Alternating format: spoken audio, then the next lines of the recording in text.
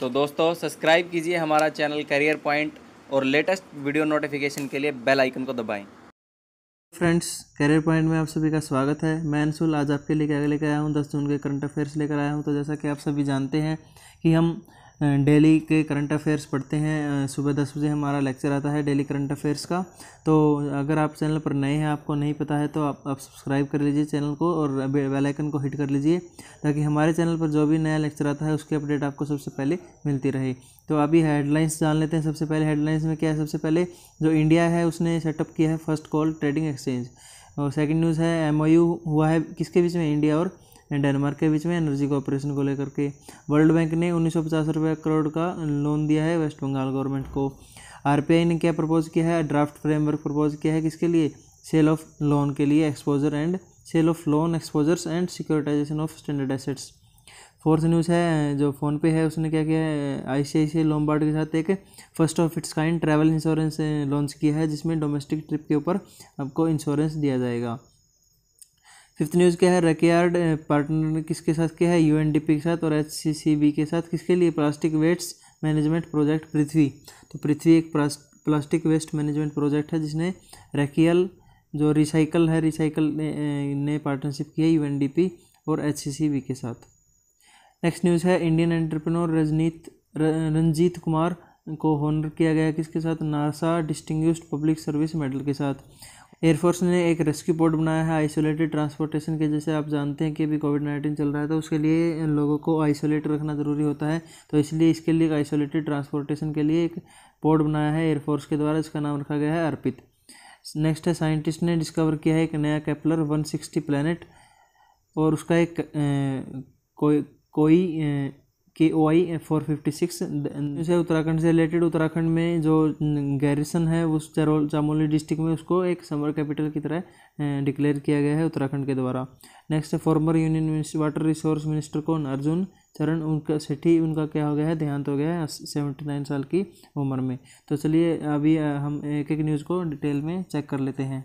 तो सबसे पहली न्यूज़ है India to setup first coal trading exchange तो भारत जैसे कि आपको जानते हैं कि कोयले का तो सबसे बड़ा, दूसरा बड़ा निर्यातक है। तो इसमें जो पहला कोल ट्रेडिंग प्लेटफॉर्म है, जो कि किसने किया है, स्थापित किया है इंडिया ने स्थापित किया है एक पहला कोल ट्रेडिंग प्लेटफॉर्म जिसमें कि कोल एक्सचेंज के नाम पे नाम से इसको जाना जाएगा। इसमें क्या होगा कि जो बड़ी संख्या में विक्रेता हैं, खरीदने वाले हैं, बेचने वाले हैं, वो कमोडिटी के रूप में जैसे आप अभी देख लो क्रूड ऑयल हो गया गोल्ड हो गया सिल्वर हो गया तो ये क्रूड ऑयल की फॉर्म में आपको क्या स्टॉक एक्सचेंज में दिखते हैं? तो इसी तरह एक जो कोयल एक्सचेंज बनाई गई है, उसमें क्या होगा कि जो कोयला है वो कमोडिटी के रूप में बेचा बेचा जाएगा, ख़रीदा जाएगा। तो इससे क्या होगा कोयले का जो व्यापार है उसमें एक साथ मिल करके जो एक प्लेटफॉर्म मिल जाएगा जिनके, जहाँ पे जो ख़रीदने वाले हैं और बेचने वाले हैं, वो एक साथ आ सकते हैं। ये क्या क्या है कि जो कोयला मंत्रालय है, उसने ग्यारह जून दो हज़ार बीस को ये इसके लिए ऑप्शन का क्या करेंगे? ऑक्शन की नीलामी, यानी नीलामी शुरू करने का फैसला लिया है ग्यारह जून 2020 को। तकरीबन 50 कोयला ब्लॉक्स की नीलामी होगी ग्यारह जून 2020 को। तो ये किसने बताया है? जो कोयल, कोयला मंत्रालय है, उसने ये जानकारी हमें दी है। तो अभी कोयल इंडिया लिमिटेड के बारे में जान लेते हैं कोयल इंडिया लिमिटेड का हेडक्वार्टर कहाँ है? कोलकाता में, वेस्ट बंगाल में। और इसके चेयरमैन कम मैनेजिंग डायरेक्टर कौन है? प्रमोद अग्रवाल। तो ये न्यूज़ काफ़ी इंपॉर्टेंट है कि अभी, जैसे कि स्टॉक एक्सचेंज है, उसी के साथ साथ एक कोयल एक्सचेंज स्थापित की गई है। जिसमें जो सेलर्स हैं बायर्स हैं, वो एक तरह से ट्रेड कर सकते हैं कोयल का। तो नेक्स्ट न्यूज़ है एमओयू हुआ है किसके बीच में? इंडिया और डेनमार्क के बीच में एनर्जी कोऑपरेशन को लेकर के। जो डेनमार्क है, ये एक यूरोपियन कंट्री है तो इसमें क्या हुआ कि जो पावर सेक्टर है, उसमें स्ट्रेटेजिक इंटरवेंशन के लिए, यानी आपस में राजनीतिक हस्तक्षेप को बढ़ावा देने के लिए, भारत और डेनमार्क के बीच में क्या हुआ, एक एमओयू हुआ है, जिस पर हम एक मेमोरेंडम ऑफ़ अंडरस्टैंडिंग हुआ है, जिस पर दोनों देशों ने हस्ताक्षर किए हैं। तो इसमें क्या किया गया है कि जो इंडिया और डेनमार्क के बीच में कॉपरेशन है, वो किस किस मिनिस्ट्रीज में मिनिस्ट्रीज ने हैंडल किया है। तो इंडिया से जो मिनिस्ट्री थी, वो कौन थी? Ministry of power government of republic of India और जो ministry of energy utilities and climate है। वो government of kingdom of Denmark यानी कि जो इंडिया है, वो क्या है? रिपब्लिक ऑफ़ इंडिया है। और जो वहाँ पे डेनमार्क है, उसमें क्या है? गवर्नमेंट ऑफ़ किंगडम है। किंगडम किसका है? राजा का। जैसे इंग्लैंड है, वहाँ पे राजा का राज चलता है। तो वैसे ही राजा का राज है, लेकिन फिर भी डेमोक्रेसी एक तरह से डेमोक्रेसी नहीं है कि किंगडम का राज है, लेकिन फिर भी राजा वहाँ पे मंत्री होते हैं प्रधानमंत्री होते हैं तो ये सारे होते हैं। तो ये काफ़ी इंपॉर्टेंट न्यूज़ है कि ये पूछ सकते हैं कि भाई जो एम हुआ है डेनमार्क और इंडिया के बीच में एनर्जी कोऑपरेशन को लेकर के, जो बिजली क्षेत्र में हुआ है उसमें क्या कुछ मतलब कौन से कौन से मिनिस्ट्रीज ने, दोनों तरफ़ से कौन से कौन से मिनिस्ट्रीज ने पार्टिसिपेट किया है? तो एमओयू किसने साइन किया है? साइन किया है सेक्रेटरी ने। पावर सेक्रेटरी जो मिनिस्ट्री ऑफ़ पावर है इंडिया की, उसके सेक्रेटरी हैं संजय, संजीव नंदन। इन्होंने इंडिया की तरफ़ से साइन किया है और जो सहाय एंड संजीव नंदन सहाय हैं, जिसका नाम, पूरा नाम संजीव नंदन सहाय है, और ambassador of Denmark to India यानी कि जो डेनमार्क का एम्बेसडर है इंडिया में उन्होंने साइन किया है, उनका नाम क्या है? फ्रेडी स्वैन तो ये दोनों का नाम काफ़ी इंपॉर्टेंट है। जो सेक्रेटरी ऑफ़ पावर मिनिस्ट्री है इंडिया में उनका नाम है संजीव नंदन सहाय, और एम्बेसडर हैं जो डेनमार्क के इंडिया में फ्रेडी स्वैन उन्होंने दोनों ने हस्ताक्षर किए हैं इसके ऊपर, और ये एनर्जी कॉपरेशन को साइन किया है। तो ministry of state power and new and renewable energy कौन है? मिनिस्टर कौन है इसके? पावर एनर्जी पावर के राजकुमार सिंह। और और जो ministry of climate energy and utility Denmark में कौन है? उनके मंत्री डैन ज़ोर जॉर्जनसन डैन जॉर्जनसन है उनका नाम। नेक्स्ट न्यूज़ है वर्ल्ड बैंक ने क्या किया है? 1950 करोड़ का लोन दिया है वेस्ट बंगाल को। तो जो चीफ मिनिस्टर है वेस्ट बंगाल की कौन है? ममता बनर्जी। तो ममता बनर्जी ने वर्ल्ड बैंक बताया है कि जो वर्ल्ड बैंक है, उसने ग्रांट किया है एक लोन उन्नीस सौ करोड़ का। तो उस किसके लिए जो टैकलिंग कोरोना वायरस तो कोरोना वायरस से लड़ने के लिए एक लोन जारी हुआ है 1950 करोड़ का, ताकि जो उसकी सिचुएशन है और उसके ऊपर डेवलपमेंट का काम किया जा सके, उनको सुधारा जा सके, दवाई वगैरह बनाई जा सके या जो मरीज़ वगैरह हैं उनको अच्छे से हैंडल किया जा सके। तो इसके की पॉइंट क्या हैं? जो टोटल अमाउंट दी गई है उन्नीस सौ पचास करोड़ की, उसमें से ग्यारह करोड़ कितने, जो किसके लिए अलॉट हुए हैं, जो स्पेंडिंग और क्रिएटिंग इंडस्ट्रियल इंफ्रास्ट्रक्चर जैसे कि आप जानते हो कि जो अभी कोविड नाइन्टीन की वजह से लॉकडाउन चल रहा था तो उसकी वजह से इंडस्ट्रीज़ काफ़ी ठप पड़ गई थी। तो उसको इंडस्ट्रीज़ इंडस्ट्रियल इंफ्रास्ट्रक्चर को बढ़ावा देने के लिए, उसको दोबारा से खड़े करने के लिए अपने पैरों पर ग्यारह सौ करोड़ रुपये का क्या किया गया है जो लोन दिया गया है वर्ल्ड बैंक के द्वारा। तो इसमें और जो बाकी का आठ सौ पचास करोड़ है, उसको किसके ऊपर स्पेंड किया जाएगा? जो वैसे सोशल वेलफेयर स्कीम है, जैसे कि भी कि गरीबों के लिए खाने पानी का इंतज़ाम करना है, या जो मज़दूर हैं, बाहर से आ रहे हैं या बाहर जा रहे हैं, उनके लिए रहने का जो, आने जाने का खर्चा है जो, उसके लिए क्या किया गया है? आठ सौ पचास करोड़ रुपये का जो स्पेंड किया गया जाएगा, उसमें से उन्नीस सौ पचास करोड़ में से आठ सौ पचास करोड़ सोशल वेलफेयर स्कीम्स पे स्पेंड किया जाएगा। तो अभी वर्ल्ड बैंक के बारे में जान लेते हैं। वर्ल्ड बैंक का हेडक्वार्टर कहाँ है? वाशिंगटन डीसी यूनाइटेड स्टेट्स में। और इसका मोटो क्या है? मोटो यानी कि जो टैगलाइन होती है एक तरह से, वो क्या है? Working for a world free of poverty तो ये क्या, इसका काम क्या है कि मेनली जो गरीबी है पूरे वर्ल्ड में, उसको कैसे हटाया जा सकता है? तो उसके ऊपर काम करना इनका एक मोटो है। तो प्रेसिडेंट कौन है इसके? डेविड मेलपासी ये कल आपने न्यूज़ में पढ़ा होगा, इसमें भी मैंने कल भी बताया था इसके बारे में, जब वर्ल्ड बैंक ने क्या किया था इंडिया की जो ग्रोथ रेटिंग है उसको घटा के थ्री पॉइंट टू कर दिया था तो हमने प्रेजिडेंट के बारे में कल भी बताया था हेडक्वार्टर के बारे में बताया था। कोलकाता के बारे में जान लेते वेस्ट बंगाल के बारे में जान लेते हैं, इसकी राजधानी का है? कलकत्ता गवर्नर है जगदीप धनखड़। और चीफ मिनिस्टर हैं ममता बनर्जी। इसमें कुछ नेशनल पार्क हैं, ये भी आपको कब पता होना चाहिए, ये भी काफ़ी क्वेश्चंस में पूछे जा सकते हैं। Buxa national park Gorumara national park, Neora valley national park, Singalila national Singalila national park Sundarban national park, Sundarban delta आपको जैसे पता है, जो गंगा और यमुना का जो डेल्टा है, उसको सुंदरबन डेल्टा कहते हैं। ये मेनली वेस्ट बंगाल में पड़ता है और नेक्स्ट है जल्दापारा नेशनल पार्क। तो ये सारे नेशनल पार्क काफ़ी इंपॉर्टेंट है। हम आपको करंट न्यूज़ के साथ साथ स्टैटिक न्यूज़ भी दे रहे हैं तो ये काफ़ी इंपॉर्टेंट पड़ जाता है आपके लिए।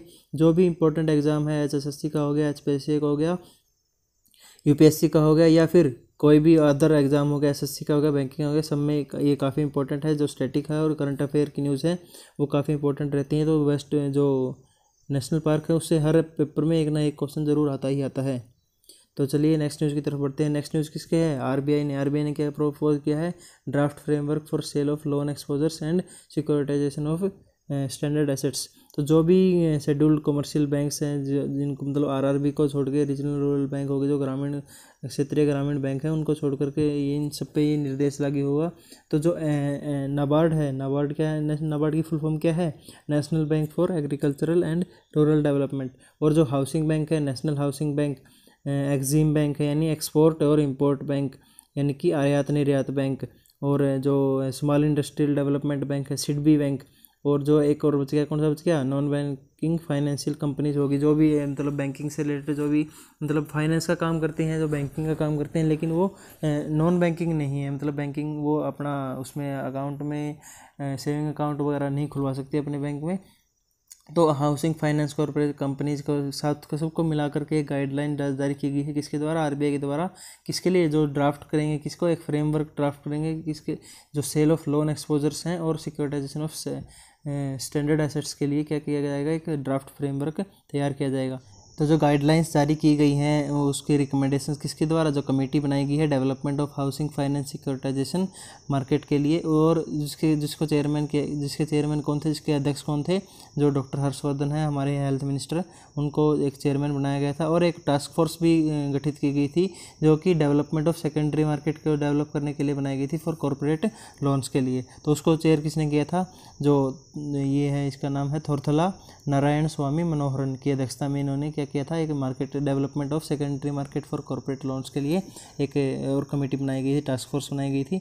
तो उसमें क्या गया था कि जो आरबीआई के द्वारा सेट की गई थी, दो दो, दोनों कमेटी आरबीआई द्वारा बनाई गई थी मई दो हज़ार उन्नीस में ताकि इन जो जो लोन एक्सपेंसर्स हैं या स्टैंडर्ड एसेट्स हैं, उनके सिक्योरिटाइजेशन के लिए काम किया जा सके, एक फ्रेमवर्क ड्राफ्ट किया जा सके। तो अभी आरबीआई के बारे में हम जान लेते हैं, इसमें क्या है जो हेडक्वार्टर है मुंबई में महाराष्ट्र में, और जो फॉर्मेशन हुआ था एक अप्रैल 1935 को हुआ था, ताकि जो दूसरे बैंक है, उस टाइम पे प्राइवेट बैंक काफ़ी हावी हो गए थे। तो उनके ऊपर जैसे कि कंट्रोल पूरे कंट्री में कंट्रोल हो एक सेंट्रल बॉडी का तो इसके लिए आरबीआई का गठन किया गया था। जो हिल्टन यंग कमीशन के रिकमेंडेशन पर ये हिल्टन यंग कमीशन के बारे में भी आपको पता होना चाहिए। इसके, इसने ही क्या किया था? रिकमेंड किया था कि भी आरबीआई होना चाहिए कि पूरे इंडिया में। तो इसकी फॉर्मेशन हुई थी एक अप्रैल 1935 को और गवर्नर कौन है इसके? शक्तिकांत दास। अभी गवर्नर करंट के चल रहे हैं शक्तिकांत दास। और डिप्टी गवर्नर्स के बारे में भी आपको पता होना चाहिए। चार डिप्टी गवर्नर्स होते हैं। पहला है बिबू प्रसाद कानून को, इसको बीपी कानून को भी कहते हैं। नेक्स्ट है महेश कुमार जैन। थर्ड है माइकल देबाब्रता पात्रा। माइकल पात्रा कहते हैं सीधे से इसको, इनको। और एक फोर्थ है पोजीशन भी होती है इसमें, जिसमें अभी वो क्या है वैकेंट है। तो उनका अपॉइंटमेंट अभी नहीं हुआ है। तो नेक्स्ट न्यूज़ की तरफ़ पढ़ते हैं। नेक्स्ट न्यूज़ क्या है? फ़ोन पे से रिलेटेड फ़ोन पे ने आईसीआई लोमबार्ड के साथ एक लॉन्च किया है first of its kind travel insurance यानी यात्रा करते वक्त आपको एक इंश्योरेंस मिलेगा। उसकी फ़र्स्ट ऑफ़ इट्स काइंड किसने किया है? ये फ़ोन पे ने किया है। तो ये डोमेस्टिक ट्रिप ट्रिप के ऊपर अप्लाई होगा। तो ये फ़ोन पे है ये किसने? फ्लिपकार्ट के फ्लिपकार्ट ने ऑन कर रखी फ्लिपकार्ट के स्वामित्व के में है ये। डिजिटल पेमेंट प्लेटफॉर्म है ये, जैसे कि इस पर आप बिल वगैरह भर सकते हो रिचार्ज कर सकते हो या किसी को पैसे अगर भेजने हैं तो वो भी आप इसके थ्रू कर सकते हो। आप air ticket bus ticket rail ticket सब कुछ इसमें आप भर सकते हो और मतलब अप्लाई कर सकते हो उनके लिए। टिकट बुकिंग वगैरह भी आपको कर सकते हो वहाँ से। तो इन्होंने किसके साथ किया है? आई सी आई सी आई लोम्बार्ड है जो। उसके साथ एक गैर जीवन बीमा कंपनी गैर जीवन बीमा कंपनी क्या होती है? एक तो होता है लाइफ इंश्योरेंस एक होता है नॉन जो लाइफ इंश्योरेंस के अलावा जो भी बच गया, जैसे कार का इंश्योरेंस बाइक का इंश्योरेंस या ट्रैवल का इंश्योरेंस जैसे कि अभी आप इसमें न्यूज़ में देख रहे हो तो जो नॉन लाइफ इंश्योरेंस कंपनी है, वो क्या है? आई सी लॉम्बार्ड है। तो उसने उनके आपस में मिलकर उन, दोनों ने एक फ़र्स्ट ऑफ़ इट्स काइंड यानी अपनी तरह का पहला एक ट्रैवल इंश्योरेंस लॉन्च किया है किसके ऊपर जो होगा अप्लाई जो घरेलू डोमेस्टिक मार्केट है डोमेस्टिक इंश्योरेंस है उसके ऊपर डोमेस्टिक मल्टी ट्रिप यानी कि दो घरेलू में या, या घरेलू यानी कि इंडिया के पूरे एरिया में आपको यात्रा अगर करनी है तो उस पर आपको इंश्योरेंस मिलेगा इनके थ्रू अगर आप पेमेंट वगैरह कुछ करते हो तो। तो जो इसमें क्या होगा कि जो स्ट्रेस फ्री ट्रैवल एक्सपीरियंस होगा कस्टमर्स को वो दिया जाएगा। और जो कवरिंग रिस्क वगैरह है, जैसे कि मान लो दुर्घटना होगी तो इसमें सड़क, रेल, वायु सारे जुड़े, सभी यात्राओं से जुड़े हुए जोखिमों को जो ध्यान के रख के किया जाएगा इंश्योरेंस वगैरह किया जाएगा कस्टमर्स का, ताकि उनको एक स्ट्रेस फ्री यानी कि तनाव मुक्त यात्रा का अनुभव प्रदान किया जा सके। तो ये पॉलिसी जो कि इसमें क्या है कि जो अफोर्डेबल एनुअल इंश्योरेंस प्रोवाइड करेंगे, कि पूरे साल के लिए एक बार ही इंश्योरेंस दे दिया जाएगा। कि भी आप अनलिमिटेड ट्रिप है, कितने भी ट्रिप कर सकते हो, उस पर आपको पूरा साल अगर मान लो कहीं कोई दुर्घटना वगैरह हो जाती है तो इसमें आपका हो क्या हो जाएगा इंश्योरेंस है, उसके आपको जो सहायता होगी, वो प्रदान कर दी जाएगी। जो फ़ोनपे है फ़ोनपे का रजिस्टर्ड एड्रेस कहाँ का है? मुंबई का, महाराष्ट्र। और आपको ये पता होना चाहिए, फ्लिपकार्ट के द्वारा ऑन की जाती है, पहले ये अकेली थी, लेकिन अभी फ्लिपकार्ट ने इसको क्या, किया दिया है, अधिकरण कर लिया है। इसके सीईओ कौन है? समीर निगम। और अभी आई सी लोमबार्ड के बारे में जान लेते हैं। इसका रजिस्टर्ड एड्रेस है मुंबई, महाराष्ट्र में ही और M D and C O इसके भार्गव दास गुप्ता तो चलिए नेक्स्ट न्यूज़ की तरफ़ बढ़ते हैं। नेक्स्ट न्यूज़ क्या है रिसाइकल जो एक कंपनी है, इसने पार्टनरशिप की है यूएनडीपी के साथ और एचसीसीबी के साथ। किसके लिए? प्लास्टिक वेस्ट मैनेजमेंट के प्रोजेक्ट है इनका। क्या है नाम उसका? पृथ्वी। तो 2019 में क्या था? आईटी का जाइंट है माइंड ट्री उन्होंने HCC बीपीएल और यूएनडीपी के साथ एक लॉन्च किया था प्रोजेक्ट पृथ्वी, जिसका, जो कि ऑपरेशनल है अट्ठाईस सिटीज़ में पूरे इंडिया में, और जो कि अभी और पचास सिटीज़ में क्या करने वाला है, जो ट्वेंटी ट्वेंटी में पूरे और जो भी पचास सिटीज़ हैं, उनको भी अभी लेने वाला है। तो इससे क्या हो जाएँगे जो फिफ्टी प्लस सिटीज़ हो जाएँगे तो तकरीबन ये अस्सी के आसपास की सिटीज़ को कवर अप कर देगा ट्वेंटी ट्वेंटी ख़त्म होते होते। तो इसमें क्या क्या है इनकी पार्टनरशिप में एक रिसाइकल कंपनी है, उन्होंने एक, क्या किया है कि क्लाउड एप्लीकेशन बनाई है मोबाइल एप्लीकेशन बनाई है। किसके लिए? जो कंज्यूमर्स हैं, उनको अवेयर किया जा सके भी सफ़ाई के रिलेटेड रिसाइकलिंग से रिलेटेड तो उनको एक एप्लीकेशन और एक सॉफ्टवेयर डाउनलोड उन्होंने वो किया है, बनाया है। ताकि जो प्रोजेक्ट पृथ्वी है, U U N D P की और H C C B P L के साथ मिलकर के जो माइंट्री ने बनाया है अप्लाई किया है, लॉन्च कर रखा है, उनको क्या करेंगे? उसको और भी सहायता मिल सके, लोगों की तरफ़ और भी जागरूकता हो सके कि भी जो यूज्ड प्रोडक्ट है, उनको रिसाइकल किया जा सकता है, उनको एक तरह से अलग करके रिसाइकल किया जा सकता है। तो इसका रिसाइकल के बारे में हम जान लेते हैं, इसका क्या फाउंडर कौन है? अभय देशपांडे इसके को फाउंडर कौन है? अभिषेक देशपांडे और अनिरुद्धा जलन। तो ये तीनों क्या है? इनके को फाउंडर्स हैं। और हेडक्वार्टर इसका है हैदराबाद, तेलंगाना में। जो एच भी है, उसका हेडक्वार्टर कहाँ है? हेडक्वार्टर है बेंगलुरु, कर्नाटका में। और सी उनके कौन है? Christina Ruggiero. ठीक है? तो अभी यूएनडीपी क्या है? यूएनडीपी का एडमिनिस्ट्रेटर कौन है? H M Steiner H M Steiner हैं यूएनडीपी के एडमिनिस्ट्रेटर और हेडक्वार्टर इसका यूनाइटेड स्टेट्स न्यूयॉर्क में। चलिए नेक्स्ट न्यूज़ की तरफ़ बढ़ते हैं। जो इंटर एंटरप्रेन्योर है एंटरप्रेन्योर क्या होता है? एक उद्यमी होता है। तो कौन है वो? रंजीत सिंह, रंजीत कुमार हैं। उनको नासा का डिस्टिंग्विश्ड पब्लिक सर्विस मेडल मिला है। तो क्यों मिला है इनको? एक इंजीनियर है केरला से और इंटर एंटरप्रेन्योर हैं। कहाँ पे वेस्ट हैं ये वर्जीनिया यानी इनका जो ऑफ़िस है, यानी कि जो बिज़नेस है वो कहाँ? वर्जीनिया में है। तो उनको नासा के द्वारा जो हाइएस्ट फॉर्म ऑफ़ रिकोगनाइजेशन है नॉन गवर्नमेंट इंडिविजुअल यानी एक तो कुछ होते हैं भी गवर्नमेंट कर्मचारी हैं, उनको दिया जाता है कुछ अवार्ड तो ये नॉन गवर्नमेंट गवर्नमेंट इंडिविजुअल को यानी जो सिविलियन है, उनको दिया जाता है। तो इसका ये हाईएस्ट फॉर्म ऑफ़ रिकॉग्नाइजेशन है। इसमें क्या, इसका नाम क्या है?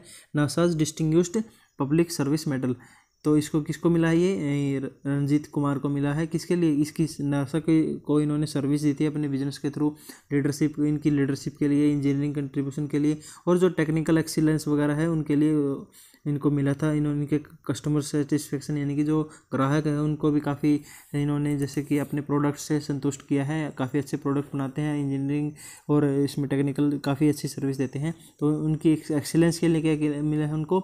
NASA distinguished public service medal मिला है। तो ये सबसे पहला अवार्ड इंडियन को किसको मिला था? ये जो नासा का डिस्टिंग्विश्ड पब्लिक सर्विस मेडल है। ये सबसे पहले इंडियन जिसको ये मिला था वो थे आर के चेट्टी पंडितपति ये इनको कब मिला था? 2002 में मिला था। ये फ़र्स्ट इंडियन थे, ये अवार्ड जीतने वाले। तो अभी ए एम ए के बारे में जान लेते हैं। ए एम ए इनकी एक कंपनी है जो रंजीत कुमार है। उनकी कंपनी है जिनके चेयरमैन कौन है? बैरी मेरेडिथ हैं और इनका हेडक्वार्टर है हैम्पटन वर्जीनिया में। तो अभी इसका नासा का हेडक्वार्टर जान लेते हैं। नासा का हेडक्वार्टर है वाशिंगटन डीसी यूनाइटेड स्टेट्स में और इनके एडमिनिस्ट्रेटर हैं जेम्स फ्रेडरिक जिम ब्रिडनस्टन तो ये इनके एडमिनिस्ट्रेटर हैं। नेक्स्ट न्यूज़ की तरफ़ बढ़ते हैं, जो एयरफोर्स है, उन्होंने एक अर्पित नाम से एक ट्रांसपोर्टेशन सिस्टम लॉन्च किया है, एक रेस्क्यू पोर्ट लॉन्च किया है airborne rescue port for isolated transportation तो ये क्वेश्चन में आपको जो फुल फॉर्म है, ये पूछी जा सकती है काफ़ी अच्छे से। तो जैसे कि ए आर अर्पित लिख के उसको कह देंगे कि भी इसमें आर की आर का आर की जगह क्या आएगा, या आर वर्ड से क्या नाम बनता है, या आई से बनता है, क्या बनता है तो इसी तरह से ये पूछ सकते हैं। ये क्वेश्चन में एयरफोर्स का क्वेश्चन है, काफ़ी इंपॉर्टेंट क्वेश्चन है, ये पूछा जा सकता है। तो अर्पित क्या है? एयरबोन रेस्क्यू पोर्ट फॉर यानी कि हवा के थ्रू किसी को अगर रेस्क्यू करना है आइसोलेशन में, कि भी जैसे कोरोना वायरस है, उसके चकल चलते काफ़ी लोगों को आइसोलेशन में रखा जाता है। और उनको अगर मान लो किसी कोई इमरजेंसी होगी तो एक जैसे दूसरी जगह से ट्रांसपोर्ट भी किया जा सकता है। तो उसके लिए उनको आइसोलेट करना पड़ता है पूरी तरह से। तो इसलिए एयरफोर्स ने क्या बनाया है? एक एयरफोर्स रेस्क्यू पोर्ट बनाया है। बिल्कुल आइसोलेट होगा इसमें जो मरीज़ है, जिसको ले जाया जा सकता है, ताकि उससे दूसरे लोगों को वो कोई वायरस या बीमारी कोई ना ना फैले। तो ये इंडियन एयरफोर्स ने बनाया है किसके लिए? जो क्रिटिकल पेशेंट हैं, उन इन्फेक्शियस इन्फेक्शियस डिज़ीज़ क्या होती हैं? कि जो छूने से या आपस में साथ में बैठने से फैलती हैं। तो उनसे बचाने के लिए एक अलग से एयरपो अर्पित नाम का एक डिवाइस बनाया है, एक टेक्नोलॉजी बनाई है ट्रांसपोर्टेशन के लिए। जो ये हाई एल्टीट्यूड एरियाज़ हैं आइसोलेटेड एरियाज़ हैं, या जो दूर दराज के इलाके हैं जहाँ पे जो नॉर्मल ट्रांसपोर्टेशन है वो नहीं पहुँच सकता तो वहाँ पे ये अर्पित को ले जाया जाएगा और वहाँ से जो पेशेंट हैं जिसके जो कि क्रिटिकल हैं, उनको वहाँ से एयरबोर्न करके क्या जो हॉस्पिटल है जहाँ पे, नज़दीकी हॉस्पिटल में वहाँ पर पहुँचाया जाएगा। तो जैसा कि आप सभी जानते हैं कि प्राइम मिनिस्टर ने एक अपने भाषण में आत्मनिर्भर भारत के बारे में कहा था कि भी हमें आप आत्मनिर्भर भारत की तरफ़ बढ़ना चाहिए और इनको, इसको इनक्रेज करना चाहिए कि ज़्यादा से ज़्यादा चीज़ें हम भारत में ही बना सकें, बाहर से हमें इम्पोर्ट करनी ना पड़े। तो इसलिए जो आदिवासी सामग्रियाँ हैं, उनसे मिला करके एक बनाया गया है ये पोड एयरफोर्स के द्वारा। इसमें क्या जो सिस्टम है, ये इसमें डेवलप किया गया है एक साठ हज़ार की, सिर्फ़ साठ हज़ार की कॉस्ट पे। एक एयरपोर्ट अर्पित ये जो सिस्टम है, ये डेवलप किया गया है एयरफोर्स के द्वारा कि जो, लेकिन जो बाहर से ऐसे सिस्टम बनाए, मंगाए जाते हैं, उनकी कॉस्टिंग अप टू साठ लाख हो सकती है। तो आप देख सकते हैं कहाँ साठ हज़ार में ये बना दिया और कहाँ बाहर से आने में साठ लाख की प्राइस उनको पड़ जाती है। तो इसका ऑब्जेक्टिव क्या है बनाने का? तो जो क्रिटिकल पेशेंट हैं, जिनमें हाई एल्टीट्यूड एरिया हो गए, पहाड़ों में हो गए आइसोलेटेड एरिया हो गए, या फिर जो रिमोट प्लेसेस हैं, यानी दूर दराज के इलाके हैं, उनको, उनमें से जो पेशेंट हैं क्रिटिकल पेशेंट है, काफ़ी एमरजेंसी सिचुएशन में हैं तो उनको वहाँ से रेस्क्यू करके और हेल्थ हेल्थ डिपार्टमेंट में वहाँ के नज़दीकी हॉस्पिटल, जो बड़ा हॉस्पिटल है, जहाँ पे उसका इलाज हो सकता है, वहाँ पर पहुँचाने के लिए ये बनाया गया है, अर्पित जो सिस्टम है मेनली तो एयरफोर्स के बारे में जान लेते हैं। एयरफोर्स का एस्टेब्लिशमेंट हुआ था आठ अक्टूबर उन्नीस सौ बत्तीस को और करंट में इनके चीफ ऑफ़ एयर स्टाफ कौन चल रहे हैं? राकेश कुमार सिंह भदौरिया। तो नेक्स्ट न्यूज़ की तरफ़ पढ़ते हैं। नेक्स्ट न्यूज़ है साइंटिस्ट ने एक डिस्कवर किया है कैपलर वन सिक्सटी स्टार है और उसका एक प्लानट है के K O I four fifty six जो कि किसकी मिरर इमेज है? अर्थ और सन की है। जैसे कि वहाँ पे कैपलर वन सिक्सटी को कंपेयर किया गया है सन से और अर्थ से कंपेयर किया गया है K O I four fifty six को। तो जो रिसर्च पब्लिश की गई है, कौन सी जर्नल में? एस्ट्रोनॉमी एंड एस्ट्रोफिजिक्स एक जर्नल है। तो उसमें एक टीम है साइंटिस्ट की, किसके द्वारा लेड की गई है? मैक्स प्लैंक के द्वारा इस Max Planck Institute for Solar System Research की एक टीम है। उसने एस्ट्रोनॉमी एंड एस्ट्रोफिजिक्स नाम की एक जर्नल प्रकाशित की है यानी पब्लिश की है कि कहाँ पे? गोटिनगन जर्मनी में। तो उन्होंने डिस्कवर किया एक, एक उन्होंने एक वो किया है कि भी अनाउंसमेंट की है कि भी हमने एक डिस्कवर किया है प्लानट जिसका नाम है K O I four fifty six और एक इसका एक स्टार है होस्ट स्टार यानी जिसके चारों तरफ़ वो घूमता है। कैपलर 160 तो ये इन्होंने कैपलर स्पेस टेलीस्कोप के थ्रू इसको खोजा है। तो जो पेयर है, इसका कैपलर 160 और जो के ओ आई फोर है, जो इनका पेयर है क्वाइट सिमिलर हैं ये दोनों सन और अर्थ के, क्योंकि ये प्लानट जैसे एक सन की तरफ़ सन के चारों ओर अर्थ घूमती है, उसी तरह ही जो K O I four fifty six point zero four है, ये घूमता है जो Kepler one sixty host star है उसके चारों ओर। तो इनमें क्या है कि जो ग्रह है, उसमें जो लाइफ है, उसकी एक्सपेक्टेंसी है कि भी वहाँ हैबिटेबल हो सकता है वो ये प्लानट तो उसमें क्योंकि वहाँ पे तरल पानी के क्या मिले हैं? अस्तित्व की स्थिति मिली है। तो नेक्स्ट न्यूज़ की तरफ़ बढ़ते हैं। नेक्स्ट न्यूज़ क्या है? ये उत्तराखंड से रिलेटेड है। जो गैरसन है वहाँ पे, चंबोली डिस्ट्रिक्ट में, उसको जो समर कैपिटल डिक्लेयर किया गया है उत्तराखंड की। तो उत्तराखंड के जो गवर्नर है, बेबी रानी मौर्य उन्होंने अप्रूव कर दिया है एक डिक्लेरेशन ऑफ़ भरारिसन, यानी गैरिसन तो उसमें क्या गया, जो चमोली डिस्ट्रिक्ट है, उसके एक पार, उसका एक उसमें एक जगह है गैरिसन उसको स्टेट समर कैपिटल बना दिया गया है उत्तराखंड की। इन जो, इन्होंने एक जो क्लॉज है three clause three of article three forty eight of constitution of India इसमें कुछ सुविधा से वो करके चेंजेस करके उसमें क्या कर दिया गया है, अपना ये जो डिस्ट्रिक्ट है, उसका नाम बदल के मतलब इस जगह का नाम क्या कर दिया गया कि भी इसको समर कैपिटल आज से जाना जाएगा। तो देहरादून क्या है? अभी अभी तो जो उत्तराखंड है, उसकी सबसे लार्जेस्ट सिटी है देहरादून, उसको विंटर कैपिटल के विंटर कैपिटल बनी रहेगी वो, और जो समर कैपिटल वो कौन हो जाएगी? गैरसन हो जाएगी। तो इसमें उत्तराखंड के जो सीएम हैं, उन्होंने अनाउंसमेंट किया है कि जो गैरसन है जो गैरिसन है, वो क्या हो जाएगी? समर कैपिटल हो जाएगी उत्तराखंड की। Budget session during the budget session of the state assembly on March four तो यानी कि तकरीबन मार्च फोर को इनका बजट आता है। तो मतलब मार्च फोर बजट आने से शुरू होकर के क्या समर कैपिटल कौन बनी रहेगी? जो उत्तराखंड की में है गैरिसन तो उत्तराखंड के नेशनल पार्क के बारे में जान लेते हैं हमें। करंट अफेयर्स के साथ साथ जो स्टैटिक न्यूज़ है, उसके बारे में भी हमें पता होना चाहिए कि वहाँ पे कौन से कौन से नेशनल पार्क वगैरह हैं। या फिर और भी कोई जो जैसे कि यूनाइटेड जो वो होता है एक हिस्टोरिकल साइट होती हैं, जैसे कि अहमदाबाद हो गया। तो इस तरह से जो मेन न्यूज़ होती हैं, वो आपको स्टैटिक न्यूज़ आपको पता होनी चाहिए। तो इसमें क्या है, जो कॉर्बेट नेशनल पार्क है राजा जी नेशनल पार्क है valley of flowers national park है, नंदा देवी नेशनल पार्क है, गंगोत्री नेशनल पार्क है, गोविंद पशु विहार नेशनल पार्क है और सेंचुरी है। तो ये सारी नेशनल पार्क और सेंचुरी का आपके बारे में आपको पता होना चाहिए। ये सारी काफ़ी इंपॉर्टेंट है और आपको पेपर में पूछ जा सकती हैं। लास्ट न्यूज़ है आपकी जो former union water resource minister थे कौन? अर्जुन चरण शेट्टी, उनका देहांत हो गया सेवेंटी नाइन की उम्र में। तो ये जो दो हज़ार से लेकर के दो हज़ार चार तक जो यूनियन वाटर रिसोर्स मिनिस्टर रहे हैं, अर्जुन चरण शेट्टी, उनका अपना जो, क्योंकि ये कुछ समय से बीमार चल रहे थे तो एक प्राइवेट हॉस्पिटल में भुवनेश्वर में इनका देहांत हो गया। ये आठ टाइम पे एम रह चुके हैं भद्रलोक लोकसभा कंस्टिट्यूएंसी से। तो ये आठ बार, कम से कम आठ बार ये क्या कराए थे, चुन के आए थे भद्रलोक लोकसभा कंस्टिट्यूएंसी से। तो जो उड़ीसा के बारे में जान लेते हैं उड़ीसा का कैपिटल है भुवनेश्वर। गवर्नर वहाँ के गणेशी लाल और चीफ मिनिस्टर कौन है? नवीन पटनायक है। तो चलिए फ्रेंड्स, आज के लिए इतना ही। कल हम देखेंगे ग्यारह जून की करंट अफेयर्स। तो अगर आप चैनल पर नए हैं, चैनल को सब्सक्राइब कर लीजिए। चैनल को बेल आइकन को हिट कर लीजिए ताकि आपको चैनल से जुड़ी हुई सारी लेक्चर्स की अपडेट सबसे पहले मिलती रहे। तो thank you thank you very much.